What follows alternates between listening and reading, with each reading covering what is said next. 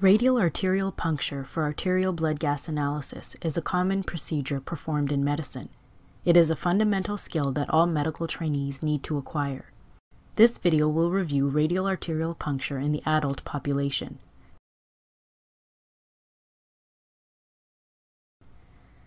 Puncture of the radial artery is the preferred method of obtaining an arterial blood sample for blood gas analysis. The chief indication for measurement of arterial blood gas level is to obtain values for the partial pressures of oxygen and carbon dioxide and for arterial pH. This information is needed when assessing a patient with acute severe respiratory distress. Measurements of arterial pH and the partial pressures of carbon dioxide and oxygen provide accurate information on the status of acid base balance and gas exchange. Another indication for arterial blood gas analysis is co-oximetry in order to assess for methemoglobinemia and carboxyhemoglobin.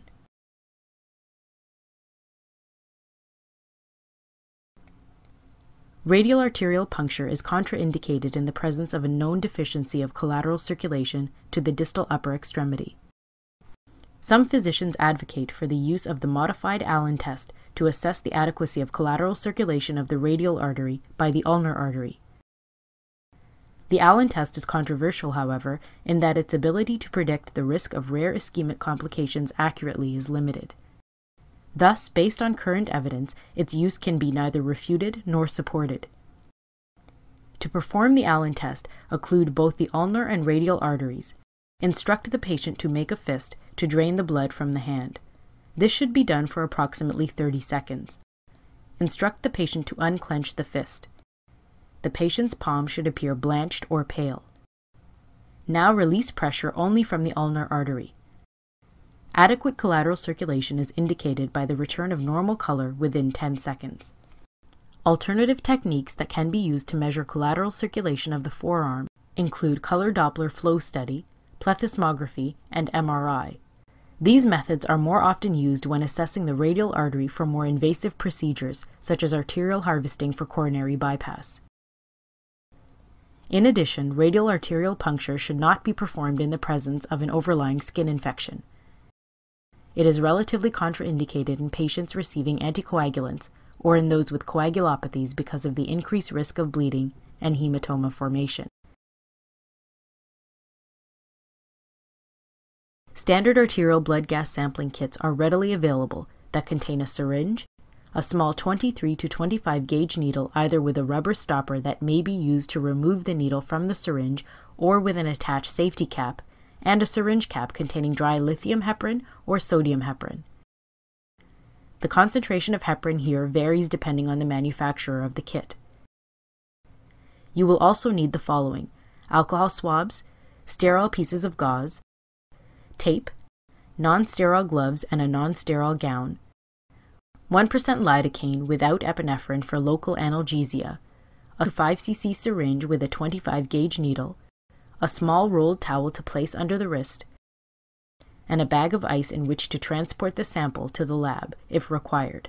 Arterial blood gas sampling often takes place in an emergency setting and may not allow for obtaining consent from the patient or next of kin. When possible, the procedure should be explained to the patient and consent obtained.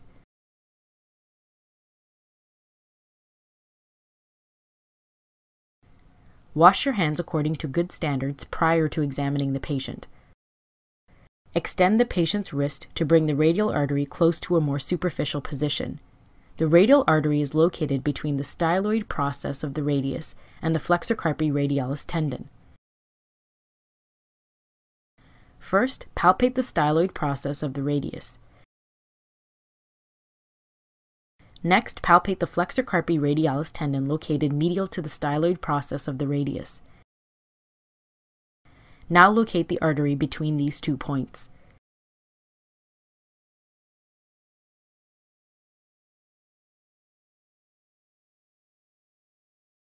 The artery may be difficult to palpate, for example, in the presence of overlying edema or vasospasm. A portable Doppler ultrasound device may be used to identify the location of the radial artery in these instances.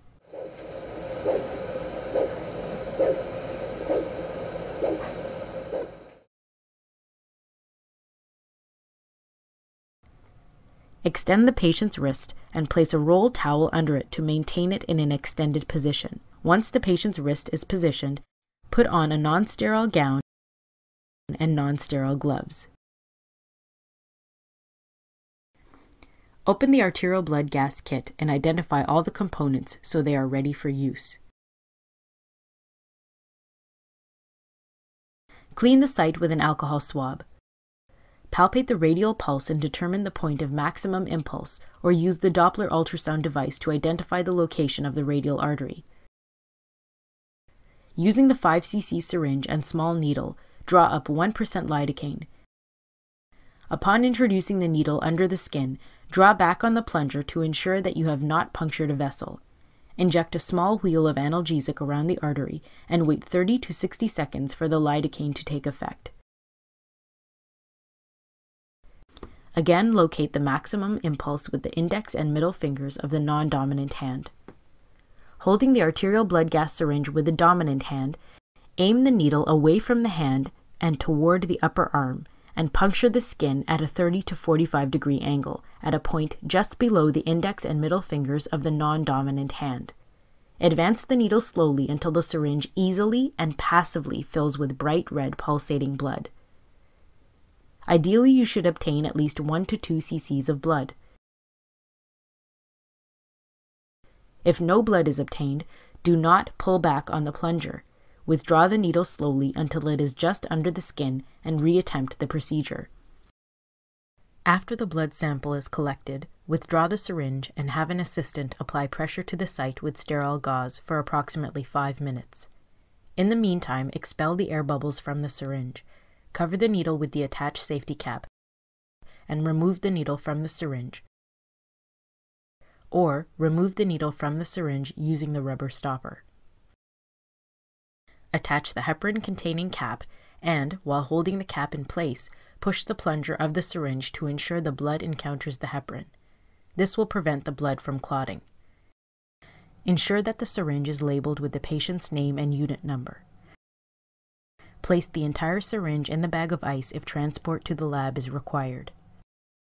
After pressure has been applied to the puncture site for 5 minutes, affix the gauze with some tape Dispose of all sharps in the designated sharps containers.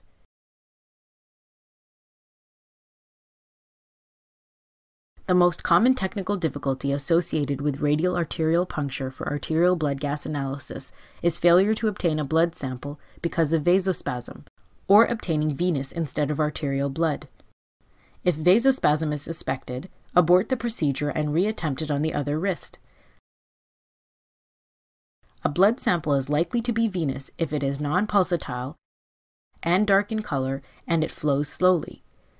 It should be noted, however, that very deoxygenated blood in a patient with hypoxemia could also appear dark, even though it is arterial. Serious vascular complications of radial arterial puncture are rare and include radial arterial aneurysm, hand ischemia, and hematoma causing compartment syndrome.